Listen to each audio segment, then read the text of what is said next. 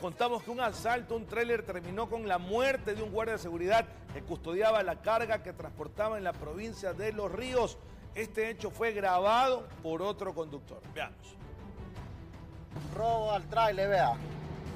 ¿Cómo se están llevando el tráiler? Son las palabras de indignación de un transportista en la carretera E25 que presencia el pan nuestro de cada día para los choferes en esta ruta. Están dando duro. Lo mataron al guardia.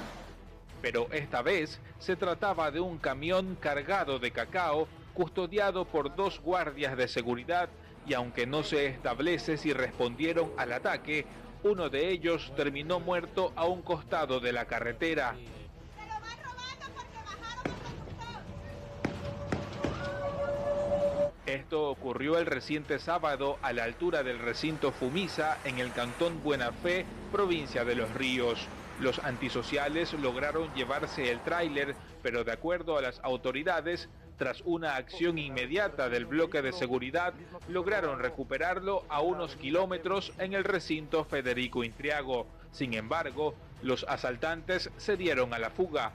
El otro guardia de seguridad resultó con un roce de proyectil en la cabeza, pero logró escapar y posteriormente fue atendido en un hospital, mientras que el custodio abatido fue identificado como José Daniel Navarrete Vera, de 24 años. Informó Martín Soto.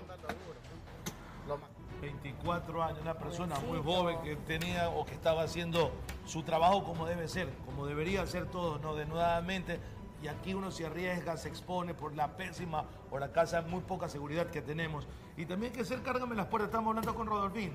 Para llevarse un tráiler, pero es como que vas a esconder un elefante, pues. Ahí está, pues, pero eso es lo que pasa en nuestro país. ¿Cuál es el control que se están realizando en las carreteras? No es el primer caso, son varios. Miren ustedes lo que pasa con los buses de transporte interprovincial. También ahora estos camiones, estos, es- estos de transportación de carga, carros pesados, extra pesados. O sea, ¿cuál es eh, la garantía que se le da al conductor que uno quiere ir normalmente, viajar con tranquilidad, sea por trabajo, sea por distracción? ¿Para qué? Para encontrarse con algo terrible en el camino. Ahora la modalidad. Y lo es que- terminan matando. Es que ya no te cierran. Ahora, aparte de cerrarte, te disparan, De pero de- una. de frente. Para que no tengas oportunidad de esquivarte. Te- Claro, te, te disparan. Algunos dicen, no, que algunos pueden ser perdigones, sí, pero eso te pega igual te mata. Eso te mata. Es de frente, se baja y le comienzan a, a- a- a disparar. O sea, para que pares totalmente y ellos comiencen a hacer de su fechoría. ¿Qué le Y parece? vea, y vea usted lo tragicómico del hecho. Estos desgraciados matan al guardia, a uno. Al otro no lo matan porque Dios es grande, porque la bala le ha rozado la cabeza, o sea que lo pudo haber destapado también. Ah, pero el tráiler, como usted bien anota, como es una cosa enorme, lo encontraron enseguida, o sea que no hubo pérdida material. Pero hay un muerto y uno que quedará traumado un buen tiempo porque no se murió. Exacto. Y señores, el Ecuador no tiene el ejército de la República Popular China para poner un soldado o un policía en cada metro. Mientras los que matan y asaltan sigan matando y asaltando porque siguen vivos, porque se los detiene y salen el día siguiente o en la semana siguiente, esto va a seguir pasando.